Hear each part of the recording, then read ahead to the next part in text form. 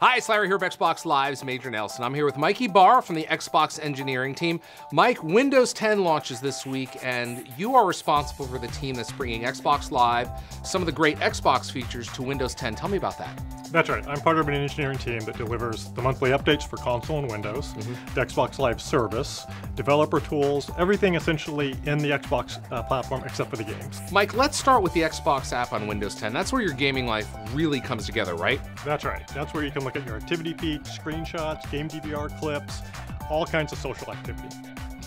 Mike, let's go ahead and take a look at the Xbox app. When I open it up for the first time, what am I gonna see? So when you open the Xbox app for the first time, you'll see on the left top side the recent games you're playing. So very quick access to the games you're playing right now. Below that is a set of featured games that are offered in the Windows Store to discover new content that you can play, all on Xbox Live. And then there's the activity feed. Now, if you're an Xbox One fan, you may recognize this, right? It's the central place where you see what your friends are doing, your activities are there. You can comment, like, just like you can on the Xbox console.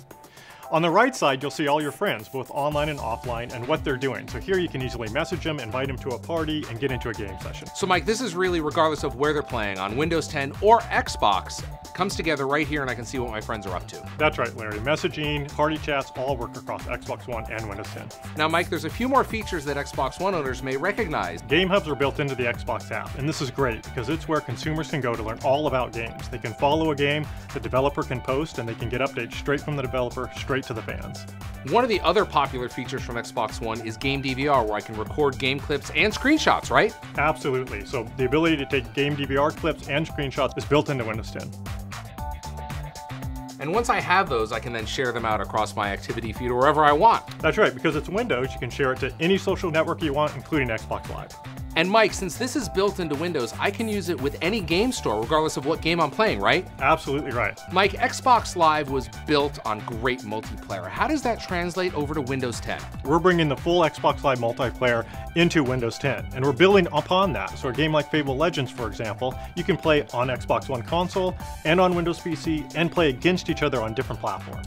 Another feature that the community is really excited about is game streaming, where I'm going to be able to stream my Xbox One games right to my Windows 10 PC, right? We think this is a great feature. So imagine you're in your living room and someone comes in and says they want to watch their TV show. Mm -hmm. Traditionally, you have to get off and stop your gaming session. Well, here you can take your Windows 10 PC anywhere in your home network, automatically stream your full experience and continue your gaming. So this works with any any Windows 10 PC, so you could have perhaps a Surface, you can go sit out on the back deck and, and you've got your full audio, video, chat, you've got everything right there, right? Absolutely. Plug your controller in and you're good to go.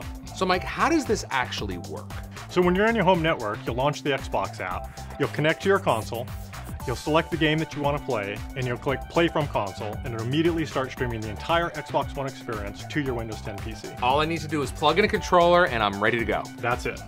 Now, Mike, in the upper left-hand corner here, I see my avatar. My avatar's back. Avatars are back in the Xbox app. You can click on your avatar, see the props that you have. When you post on your activity feed, it'll show your avatar, and you can go and customize all the clothes and props that you want. Now, Mike, this all sounds great, but let's talk about the games. What games are going to be coming to Windows 10? Yeah, so we'll have an Xbox Live enabled version of Solitaire that ships with Windows 10. And we'll have other titles like Fable Legends, Gigantic, Gears of War, and of course Minecraft. That's just the beginning of a long list of titles we're bringing to Windows 10. Mike, I've been testing out Windows 10. I'm part of the uh, Windows Insider program, but how does everyone else get it? It's easy. If you're running Windows 7 or later right now, you can go up and reserve a copy, and it starts deploying on July 29th. That's really exciting. And of course, you'll see right there on the Start menu, you'll see the Xbox app to all this great stuff we just talked about. Absolutely. Built right into Windows 10. All right, there we go. Windows 10 launching July 29th. I'm Larry here Herb, Xbox Live's Major Nelson. For more details, check out Xbox Wire or my blog at majornelson.com. Thanks for watching.